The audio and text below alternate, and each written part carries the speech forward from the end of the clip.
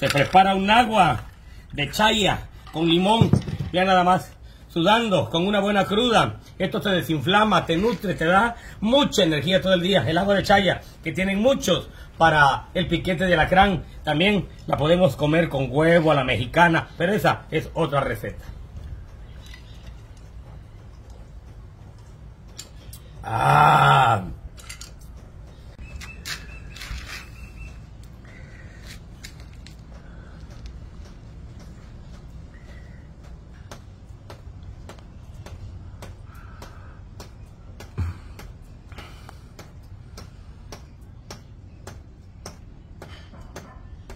Latinada.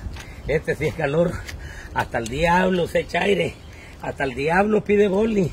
En la costa chica hasta el diablo quiere una michelada. Mamacita linda.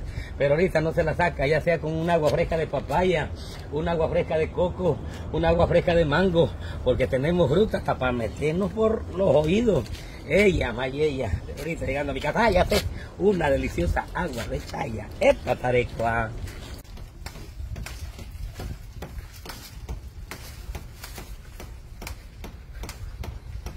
Chaya, chaya.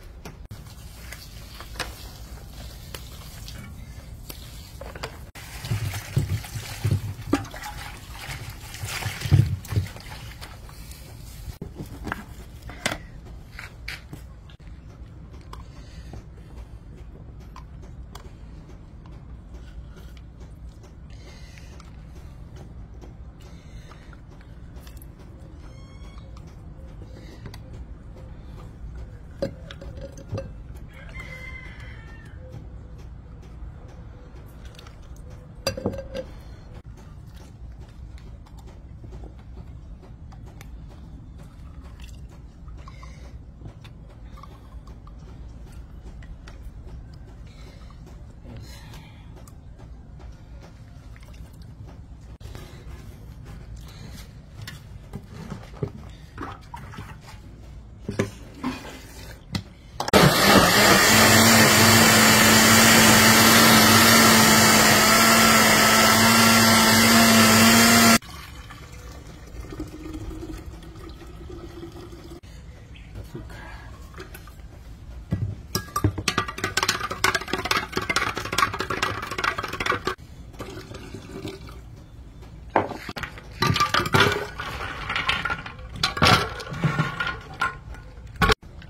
Y así se prepara un agua de chaya en la costa chica con limón, muy refrescante, nutritiva y te desinflama tu órgano digestivo y todos los intestinos. Ella, María, había nada más como estoy sudando con una buena cruda.